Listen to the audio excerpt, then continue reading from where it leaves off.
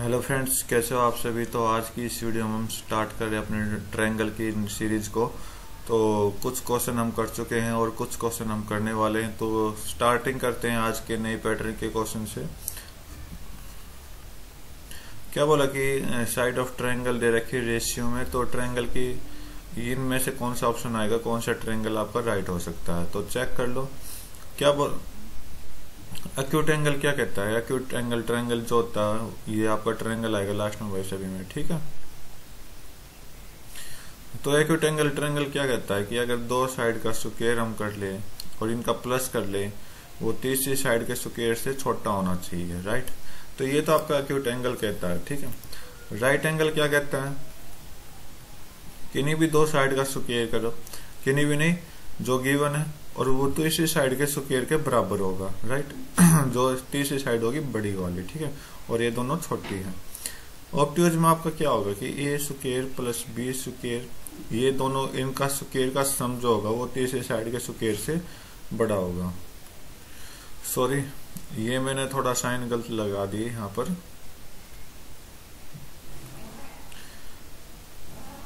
ये आपका इस तरह होगा और ये आपका इस तरह होगा, ठीक है? अरे, क्या कर रहा हूँ?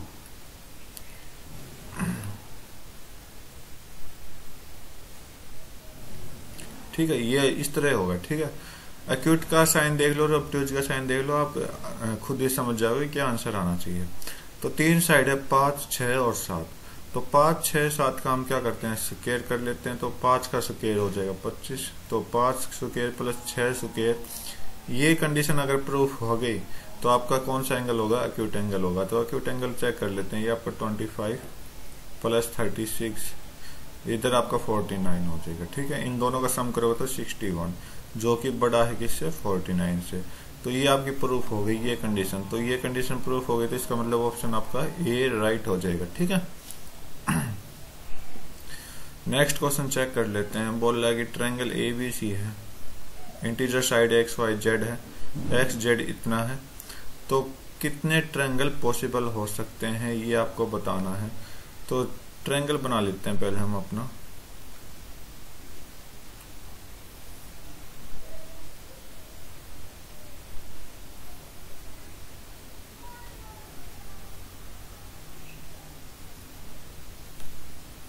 ये आपका ट्रायंगल हो गया एक, और इसकी साइड जो हो जाएँगे वो आपकी A sorry X Y Z है एक्स वाई जेड ठीक है?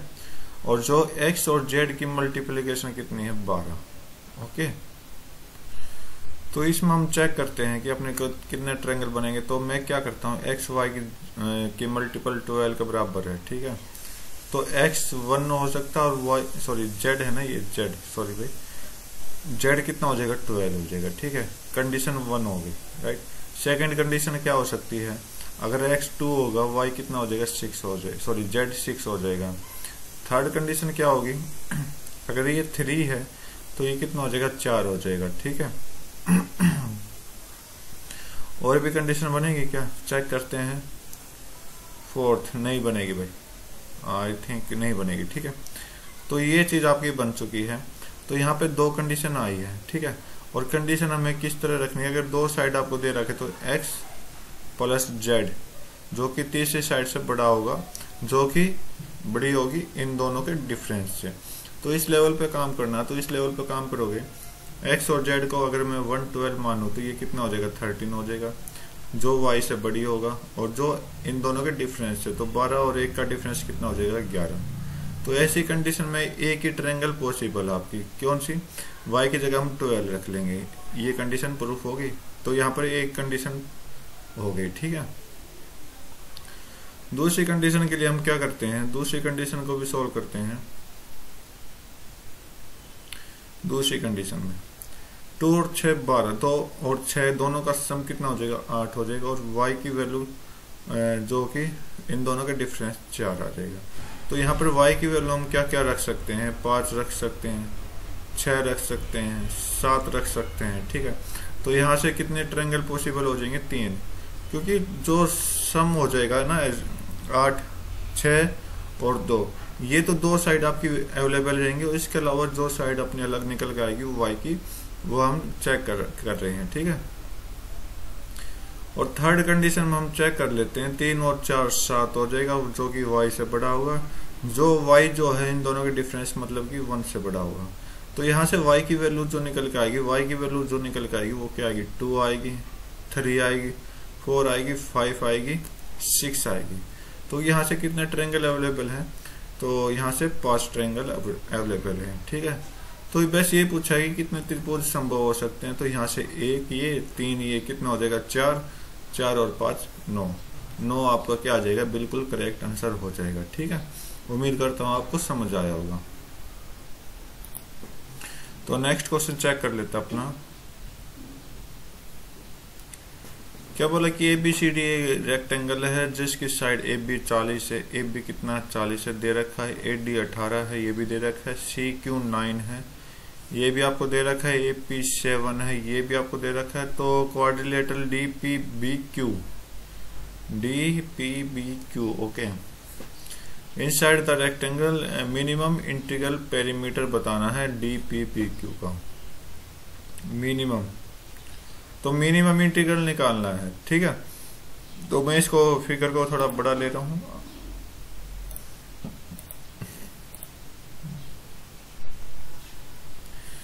तो मिनिमम बताना, ठीक है भाई? ये चीज़ आप ध्यान रखना कि क्या बताना है मिनिमम तो मिनिमम निकालेंगे तो हम सोल्व करेंगे अच्छे से इस क्वेश्चन को। मान लो डी क्यू डी क्यू देखो ए बी अगर 40 है और पी बी अगर ए पी अगर 7 है तो इसको मैं एक्स मान लू। पी बी को अलग मैं एक्स मान लू। और यहाँ पर आप ट्रायंगल चेक करोगे ट्रायंगल कौन सा चेक करोगे? ए पी बी तो इसमें हम न्यूनतम जो एक्स की जो मिनिमम वैल्यू हो, वो निकालेंगे, ठीक है? तो क्या करेंगे? चालीस प्लस सात कितना हो जाएगा? सैतालीस। जो कि बड़ा हो जाएगा, x से, जो कि डिफरेंस इन दोनों के डिफरेंस से बड़ा हो जाएगा, कितना हो जाएगा? तैतीस हो जाएगा, ठीक है? राइट तो इसका मतलब जो यहाँ पे मिनिमम डिफरेंस आएगा, तैतीस के बाद कितना आ जाएगा? चौतीस. तो यहाँ पर चौतीस जो लेंगे, x की वैल्यू चौतीस ले लेंगे, ठीक है? X की वैल्यू कितनी ले लेंगे? थर्टी फोर इस चीज़ का आप ध्यान रखना, ठीक है? अगर ये 40 है तो इसका मतलब डी सी भी कितना होगा? 40 होगा राइट इसका मतलब क्या होगा? डी सी भी 40 हो जाएगा। और डी क्यू को मैं वाई मान लेता हूँ। डी क्यू को वाई मान लेता हूँ। ठीक है? डी क्यू को वाई मान लेता हूँ। अब हम ट्रेंगल चेक करेंगे। डी सी क्यू दो साइडों का सम, ये आपका नाइन दे रखा है, ये चालीस है तो चालीस प्लस नौ, उनचास हो जाएगा। जो कि वाई से बड़ा है और जो कि इन दोनों के डिफरेंस से बढ़ा तो चालीस सॉरी चालीस और नौ कितना हो जाएगा? इकतीस हो जाएगा। ठीक है? तो यहाँ से y की वैल्यू कितनी निकल आएगी? कम मिनिमम इकतीस के बाद बत्तीस ही तो निकल के आएगी। तो ये थर्टी टू यहाँ से y की वैल्यू आ गई। थर्टी टू जो है वो क्या आ जाएगी? y की वैल्यू आ जाएगी राइट अब हम जो लेंगे triangle triangle D P A लेंगे। डी पी ए में ट्रेंगल देखोगे तो अठारह सात और इसको मैं मान लेता हूँ जेड डीपी को जेड मान लेता हूँ, ठीक है? तो यहाँ से जो मिनिमम वैल्यू निकालेंगे तो अठारह प्लस सात कितना हो जाएगा? पच्चीस हो जाएगा। जो कि जेड से बड़ा है, जो कि इन दोनों के डिफरेंस से बड़ा है तो अठारह और सात का डिफरेंस ग्यारह हो जाएगा। यहाँ से जेड की वैल्यू कितनी आ जाएगी मिनिमम बारह आ जाएगी, ठीक है? मिनिमम कितनी वैल्यू आ जाएगी यहाँ से? बारह आ जाएगी राइट और एक तीसरी वैल्यू निकाल ली हमें। इसको मैं क्या मान लेता हूँ? एक्स वाई जेड टी मान लेता हूँ इसको टी ठीक है? क्यू बी को मैं टी मान लेता हूँ ट्रेंगल चेक करते हैं हम ट्रेंगल चेक करते हैं Q C B triangle check करते हैं Q C B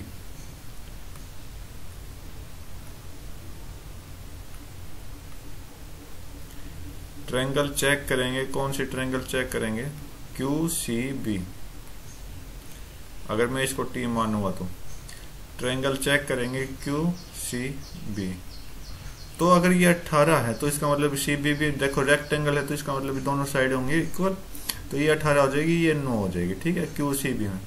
तो 18 और 9 कितने हो जाएँगे आपके पास? सताइस आ जाएँगे। जो कि टी से बड़ा, जो कि इन दोनों के डिफरेंस से बड़ा 9 और टी की जो वैल्यू आ जाएगी, कितनी आ जाएगी? दस आ जाएगी। कम से कम वैल्यू टी की कितनी आ जाएगी? दस आ जाएगी, ठीक है? तो ये कुछ वैल्यूज़ हमने निकाली है मिनिमम वैल्यू निकाली है, ठीक है? तो मिनिमम वैल्यू निकाली तो इन, क्या निकालना है? डी अब हम चेक करेंगे जो आपका क्वाड्रिलेटरल है D P B Q quadrilateral ठीक है? इसमें इसका पेरीमीटर पूछा है तो पेरीमीटर क्या होता है? सभी का सम होता है।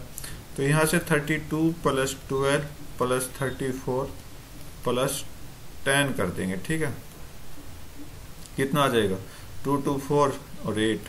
एट, थ्री और वन, थ्री और वन, एट। एट्टी, एट आपका राइट आंसर जाएगा। ऑप्शन ए आपका बिल्कुल करेक्ट आंसर हो जाएगा, ठीक है? उम्मीद करता हूँ आपको समझ आएगा देखो क्वेश्चन ये मिक्सचर क्वेश्चन था, जो कि आसान भी क्वेश्चन है। आप आसान कह सकते हो, क्योंकि इसको क्या किया? घुमा फिरा के इस क्वेश्चन को बताया गया है, ठीक है? तो उम्मीद करता हूँ आपको समझ आया होगा। तो नेक्स्ट क्वेश्चन की तरफ़ चलते हैं।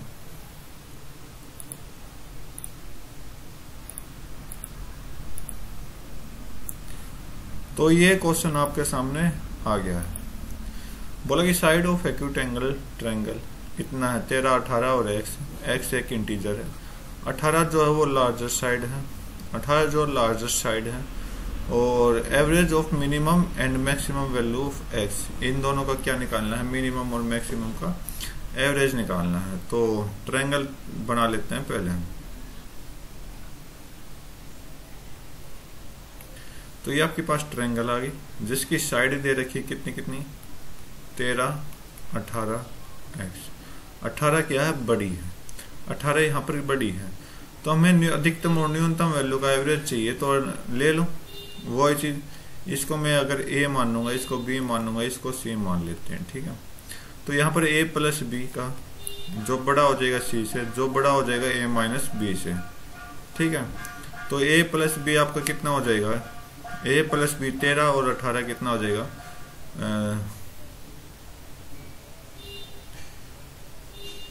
इकतीस हो जाएगा, ठीक है? और जो सी से सी कितना आपका? एक्स है। और जो इन दोनों का डिफरेंस मतलब पाँच है। तो यहाँ पर आप देखोगे सबसे कम, अब तो आप जान गए होगे कि सबसे कम कैसे आएगा, सबसे ज़्यादा कैसे आएगा। तो सबसे कम यहाँ पर कौन सा होगा? सबसे कम आपकी छह होगी। क्योंकि पाँच की स्टार्टिंग में और सबसे ज़्यादा इकतीस से एक कम कर दो तीस। ठीक है? तो ये कम हो जाएगा, ये ज़्यादा हो जाएगा और इसी का एवरेज है अधिकतम और न्यूनतम मान का एवरेज हमें बताना है।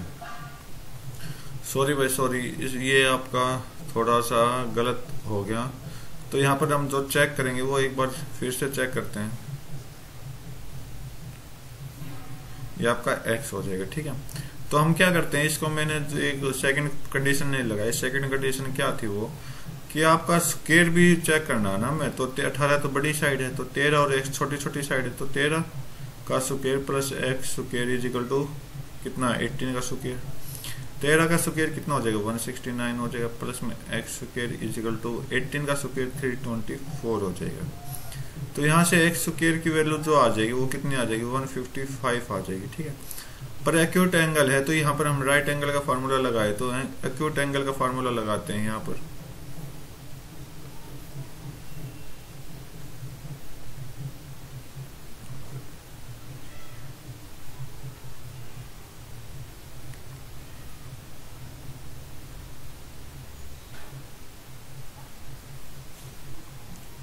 तो एक्स स्क्र जो हो जाएगा, वो 155 से बड़ा होना चाहिए, ठीक है? तो जो भी अपने पास एक्स की वैल्यू आएगी, वो 155 से बड़ी आनी चाहिए राइट और और तेरह से छोटी भी आ सकती है, बड़ी भी आ सकती है, ठीक है? अगर हम मैं देखूँ, तेरह का सुकेर करके देखूँ तो 155 से बड़ा होता है। अगर मैं इसको छह, सात, आठ समथिंग ले रहा हूँ नंबरिंग मैं आपको चेक करा देता हूँ। अगर एक्स की वैल्यू अगर x की वैल्यू छ सात, आठ, नौ, दस, ग्यारह, बारह, तेरह चौदह पंद्रह सोलह सत्रह। और अठारह अठारह से ऊपर नहीं जानी चाहिए क्योंकि अठारह तो बड़ी साइड होगी और हमें तीस ले जा रहा था और वो जो कि सबसे गल, बड़ी गलती मेरी वहाँ पर थी ठीक है? तो इसके लिए माफ़ी चाहता हूँ। तो आप देखोगे कि जो एक्स स्क्र होगा वो 155 से बड़ा होगा अगर मैं ट्वेल्व का सुकेयर करूँ, अगर मैं ट्वेल्व का सुकेयर करूँ यहाँ पर, ट्वेल्व का सुकेयर करूँ तो 144 होगा, जो कि 155 से बड़ा है। तो ये सारी वैल्यू क्या होंगे? ऑटोमेटिक कट जाएँगे। ऑटोमेटिक कट गए।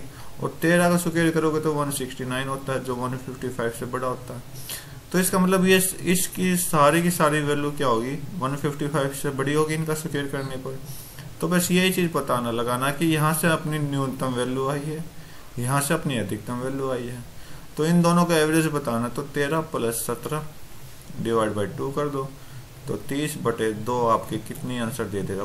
पंद्रह आपका बिल्कुल करेक्ट आंसर दे देगा ठीक है? तो ये आपका राइट आंसर था। नेक्स्ट क्वेश्चन चेक कर लेते हैं। आज की वीडियो का बस लास्ट क्वेश्चन है क्योंकि पीडीएफ खत्म हो गई। तो चेक कर लेते हैं कि find the sum of perimeter of all triangles form by side 14, 19 and x x is integers तो चलो निकालते हैं भाई। देखो दो साइड दे रखी है 14 और 19 ठीक है? तो हमें तो अपनी वैल्यू से मतलब है। तो x को मैं क्या रखता हूँ? बीच में रखता हूँ, जो कि इन दोनों के सम के से छोटा है। 14 और 19 कितना हो जाएगा? 33 हो जाएगा। और दोनों का डिफरेंस कितना हो जाएगा? 5 हो जाएगा, ठीक है? और यहाँ पर जो x की वैल्यू आने वाली वो कितनी आएगी? चेक करो। छ सात, आठ, नौ, दस। ये सारी एक्स की वैल्यू भाई, ठीक है? दस, ग्यारह, बारह, तेरह, चौदह, पंद्रह, सोलह, सत्रह, अठारह, उन्नीस। ठीक है? बीस, इक्कीस, बाईस, तेईस, चौबीस, पच्चीस, छब्बीस, सत्ताईस, अट्ठाईस, उनतीस, तीस, इकतीस और लास्ट बत्तीस हो जाएगी, ठीक है? तो बत्तीस तक हम x की वैल्यू को ले जा सकते हैं, छह से लेकर बत्तीस तक, ठीक है? तो बोल रहा है कि जो भी त्रिभुज इनसे बनने वाले तो त्रिभुज कैसे कैसे बनेगी? तो मैं दिखाता हूँ आपको। तो दो साइड तो आपके पास है 14 और 19 चौथा और 19 तो हमें सबके साथ रखनी है और एक ये वैल्यू एड करते जानी। तो सभी में सेम होगा, ठीक है? सभी में क्या होगा? सेम होगा। लास्ट तक इधर भी 14 और 19 जो है, वो दो साइड आ जाएँगे लगते। तो ये आपकी एक ट्रायंगल की सीरीज़ बन गई ठीक है? तो परिणाम बोला पे, पेरीमीटर बोला तो पेरीमीटर आपको पता होगा क्या होगा कि अपना जो पेरीमीटर होता है वो क्या होता है? कि सभी साइडों का सम होता है। 14 प्लस उन्नीस प्लस एक्स कितना हो जाएगा? 33 प्लस एक्स हो जाएगा। 33 प्लस एक्स जिस जिस जगह पुट हो रहा है वो वैल्यू हमें पुट करनी है। तो स्टार्टिंग जो ट्रेंगल बनेगी छह के साथ तो 33 प्लस छ तैतीस प्लस छ कितना हो जाएगा? आपको पता है, तैतीस प्लस छ कितना हो जाएगा? तैतीस प्लस छ कितना हो जाएगा? Thirty nine next thirty three plus seven कितना हो जाएगा? तो फ़र्स्ट ट्रायंगल का पेरीमीटर यह आया दूसरे का चालीस आया, तीसरे का इकतालीस आया। ऐसे चलते चलते चलते लास्ट में कितना है थर्टी थ्री तो ये सम बनाएगा। थर्टी थ्री और प्लस थर्टी टू आप करोगे तो कितना आ जाएगा? फाइव और सिक्सटी फाइव आ जाएगा, ठीक है? लास्ट सम जो आ जाएगा वो सिक्सटी फाइव आ जाएगा। और जितनी भी यहाँ पर ट्रेंगल बनेगी और उनका पेरीमीटर है, वो आपके सम करना है। मतलब जो हमने ग्रीन लाइन लिखी है, उसका सम करना बस। तो यहाँ पर काउंट कर लो, कितनी ट्रेंगल बनने वाली है? एक, दो, तीन, चार, पाँच छ सात आठ, नौ, दस, ग्यारह, बारह, तेरह, चौदह, पंद्रह, सोलह, सत्रह, अठारह, उन्नीस, बीस, इक्कीस, बाईस, तेईस, चौबीस, पच्चीस, छब्बीस सताइस सताइस ट्रैंगल ऐसी हैं जो बनेंगी यहाँ पर, ठीक है? सताइस ट्रैंगल ऐसी हैं, ठीक है? सताइस ट्रैंगल ओके तो इस चीज़ का ध्यान रखना। अब यहाँ पर सम पूछा तो इतनी बढ़िया सम आप मतलब जल्दी से जल्दी सोल्व नहीं कर पाओगे तो यहाँ पर हम क्या लगाएँगे? एपी का पैटर्न यूज़ करेंगे एपी का। Sum of sum of and term ये फार्मूला अगर आपने पढ़ा तो अच्छी बात है। तो first term plus last term ठीक है? तो फ़र्स्ट ट्रम जो है वो 39 है और लास्ट ट्रम जो है वो 65 है। और एन कितना है? एन आपके पास जितने ट्रायंगल आए हैं 27 आ जाएगा। तो ये आपका एन आ जाएगा, ठीक है? तो बस सोल्व कर दो एन आपका 27 है 27 बाई टू ब्रैकेट में 39 प्लस 65 हो जाएगा। तो 27 बाई टू थर्टी नाइन और 65 कितना हो जाएगा भाई? नौ और पाँच। चौदह और छ और एक, सात और तीन, दस। एक सौ चार। दो से कट करो। दो पांजे और दो। ठीक है। एंड सात दूनी। चौदह। तो लास्ट लास्ट यूनिट जो आने वाली, वो फोर आने वाली है तो फोर सिर्फ़ आपकी इसी ऑप्शन में और किसी भी ऑप्शन में फोर यूनिट नहीं है। और बाकी आप मल्टीप्लाई करो तो सताइस दूनी चौवन, ठीक है? ओके और पाँच सताइस पाँच एक सौ पैंतीस। और पाँच एक सौ चालीस। तो ये आपका राइट आंसर हो जाएगा। सोल्व करोगे ठीक है? तो ए ऑप्शन आपका बिल्कुल करेक्ट होगा, ठीक। तो आज की पीडीएफ खत्म हो गई है और उम्मीद करता हूँ ये सारे के सारे क्वेश्चन आपको समझ आए होंगे। अच्छे क्वेश्चन थे। एक नए पैटर्न पे क्वेश्चन हमने आज चेक किए हैं, ठीक है। तो कल की वीडियो में फिर अपने नए पैटर्न पे यूज़ करेंगे तो आज के लिए इतना ही रखते हैं। नेक्स्ट वीडियो में फिर मिलते हैं। तब तक के लिए thank you have a nice day जय हिंद।